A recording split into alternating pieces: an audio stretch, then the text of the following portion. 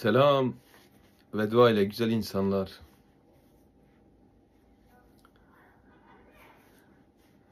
Sizin de hepinizin bildiği gibi şu an bütün dünya bir arayışın, bir uyanışın peşine düşmüş değil mi? İnsanlar bir şeyler anlatmaya çalışıyor. Kimileri inanıyor, kimileri inanmıyor. Kimisi uyanmadığı halde uyanmış gibi davranıyor. Kimisi uyanmış, insanlara anlatıyor, yalanlanıyor, reddediliyor, alay ediliyor. Ayaklar baş, başlar ayak olmuş. İkilikten baktığımız zaman normalde dışarıda görüp selam vermeyeceğiniz insanlara mürşidim, hocam, işte filan filan diye insan övüyor. İnsanoğlu ne zaman vazgeçecek insanları övmekten kendine dönmek, dönmeye döne, gelecek? Yani biz insanları övdüğümüz zaman iyilik mi yapıyoruz? Sen şeyhsin, sen mürşitsin, sen alimsin, sen şusun, sen, sen şusun, sen busun. Ne oluyor biliyor musunuz? Bana göre onlara yapmış olduğumuz en büyük kötülük bu.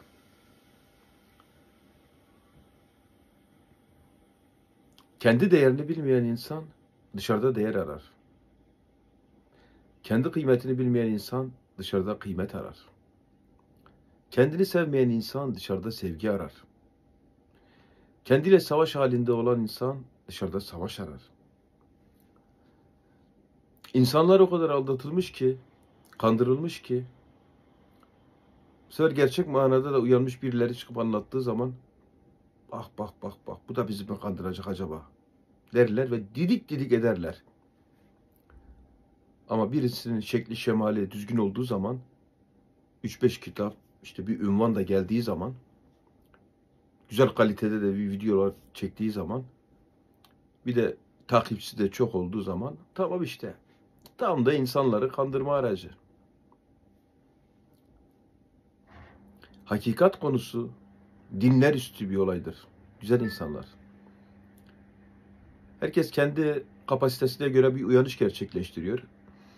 Kimi şeriatta, kimi tarikatta, kimi tasavvufta, kimi Budisttir uyanışı gerçekleşiyor. Kimi Hristiyandır, kimi ateisttir, kimi deisttir. Uyanış dinler üstü bir şeydir. Yani sadece bir Müslümana, bir Hristiyana, Yahudiye has bir şey değildir. Bugün bir Hristiyan da uyanabilir, ateist de uyanabilir, agnostik de uyanabilir, deist de uyanabilir, Kürt de uyanabilir, Türk de uyanabilir, Laz da uyanabilir. Hiç kimse uyanışı kendi tekeline alamaz. Uyanış sadece tasavvuftan ibarettir diyemez. Uyanış sadece meditasyondan ibarettir diyemez. Uyanış olumlamadır, uyanış işte şudur, uyanış budur. Hayır. Hepsinin içinde de uyanışın parçaları vardır ama hiçbirisi tam olarak uyanış değildir. Kendi kıyameti kopmamış bir insan, kendi canını kendi almamış bir insan, ahiret sürecini yani kıyamet frekansını kendinde yaşamamış bir insan, öbür frekansa geçmemiş bir insan uyanmamıştır. Ne yaşamışsa yaşasın uyanmamıştır. O kıyameti yaşayacak. O canını kendi alacak kendi mahkemesinde hem hakim olacak, hem şahit olacak, hem katil olacak.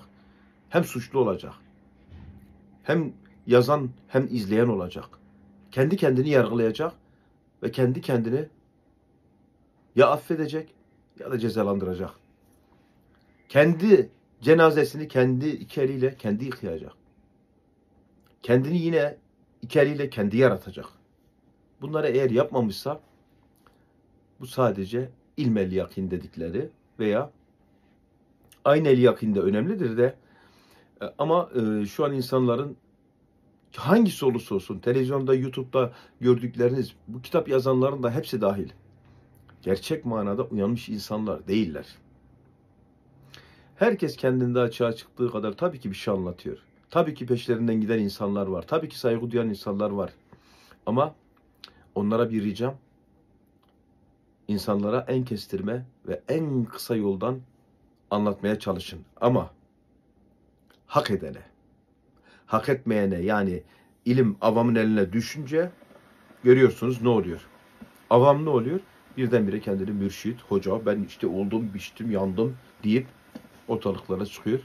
Ve hem kendini rezil ediyor, küçük düşürüyor hem ailesini. Yazık günah. Hak etmeyene ilim anlattığımız zaman hem o kişiyi yakmış oluyoruz hem o kişinin ailesi yanmış oluyor. Neden? E çünkü ortalığa çıkıp ben Allah'ım demeye başlıyor. Ben şuyum, ben buyum demeye başlıyor. Bu sefer işi ruh sağlığına kalıyor. Psikiyatrilere kalıyor. Ne demek istediğimi zaten anlayan anladı. Anlamayanlar da her zamanki gibi zaten küfrünü ediyor. Sen kimsin, şu kim, bu kim, ne diyorsun? Onları da anlıyorum. Onlara da diyorum ki siz de pişeceksiniz. Siz de kendinize geleceksiniz. Siz de olgunlaşacaksınız. Siz de insanı kamil inşallah olursunuz. Ama ama ön yargısız bir şekilde ve zihinsiz bir şekilde dinlemeye çalışın. Tertemiz bir şekilde. Acaba ne anlatmaya çalışıyoruz? Geriye dönük 300 videoda anlatmışız zaten. Kitap yazdık, o sensin kitabı orada anlattık. Her hafta çarşamba günü Telegram'da anlatıyoruz. Peki anlatıyoruz, hepsi anlıyor mu? Tabii ki hepsi anlamıyor. Tabii ki orada da insanlar olmadığı halde olmuş gibi gösterebiliyor kendini veya dinlemiş olduğu ses kayıtlarından böyle bir egoya kapılıp Aa, ben işte olmuşum falan deyip orada e, kendini ön plana çıkarma gibi bir duruma düşebiliyor. E, yani insanların yapmış olduğu yanlışlardan biri de bir görev almak yerine her zaman en ön planda olma düşünceleri. Ön planda olmayı düşünen insan her zaman arkada kalır. Ama saatin dişlisi gibi ben de bir dişli olayım. Ben de onlar gibi can. Hep birlikte hareket edelim. Yani ne kimsenin önünde ne kimsenin arkasında. Yanında yürüyeyim. Kardeş olalım diyen insanlar kazanır. Ama ama ille de uyanayım. İlle de bir şeyler olayım. Evliya olayım. Şu olayım, bu olayım diye bu yola giren insan asla uyanışını gerçekleştiremez. Kur'an-ı Kerim'in dediği gibi bu dünyada ama kalır, ahirette de ama kalır. Yani diğer frekansa geçip ölümü tadınca da karanlıkta uyananlardan olur. Yani cehennemlik dedikler. Ve o cehennemini de burada yaşar. Ama edeple mürşidin önünde durursa o mutlaka ama mutlaka lütufla gider. Edeple gelip lütufla gitmek isteyenlere selam olsun. Ama ben şundan bir iki bilgi çalayım, kitabıma yazayım veya gidip YouTube kanalı açayım diye geldiyse o kişi geçmiş olsun.